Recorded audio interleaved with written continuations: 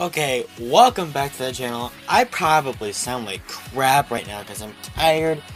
It's 2 in the morning. I was waiting for somebody to show up. They didn't show up. They were supposed to come to my house at like 1 to hang out. Late at night. I know. That's what was supposed to happen. They never showed up.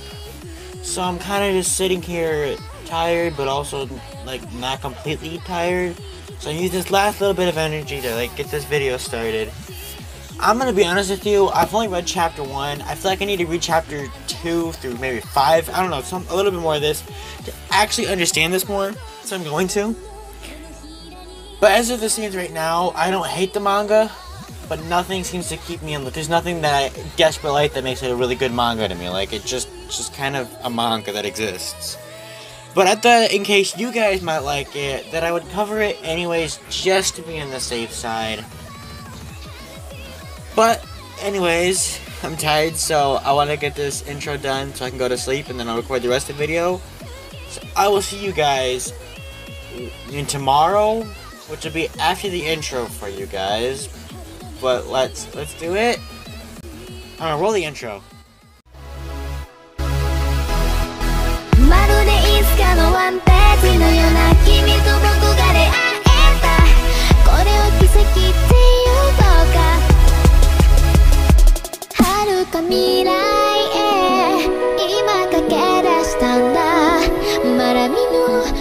不安すら全て越えて Okay, so it's obviously the next day. Um, and I said in the last clip that I didn't really care too much for the plot.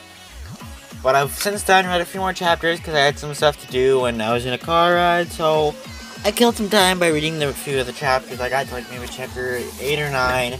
And I really do kind of like it now. I- It's kind of, it's, it's not my favorite, I won't say it's my favorite yet. But it's definitely grown on me.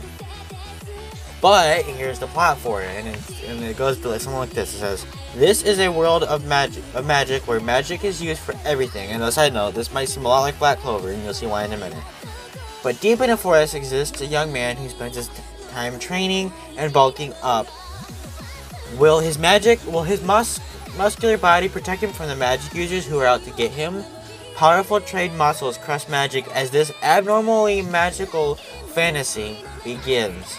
Now, I want to say this is a lot like Black Clover in the, in the sense that the magic, the, the world runs on magic, and the character, the main character, comes in with like, "Hey, fuck this! Got no magic. We're gonna, we're gonna do everything here," and and just it basically shows basically Asta, but instead he doesn't ever get powers like Asta did, you know.